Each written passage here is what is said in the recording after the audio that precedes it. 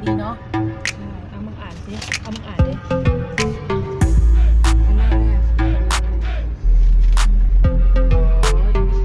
นี่ไงเขาแบบเจอเจดีย์แล้วเราจะเลี้ยวซ้ายเราจ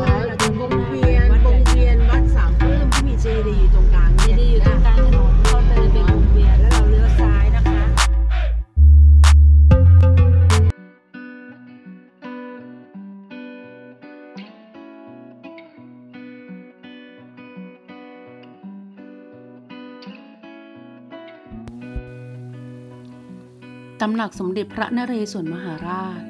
ตั้งอยู่ด้านหลังของวัดใหญ่ชัยมงคล ได้เริ่มสร้างในปีพศ 2535 และได้สร้างเสร็จแล้วเสร็จในปีพศ 2544 ภายในประดิษฐาน พระราชานุสาวรี องค์สมเด็จพระนเรศวรมหาราช ทรงหลังทักษิโนถกประกาศอิสรภาพ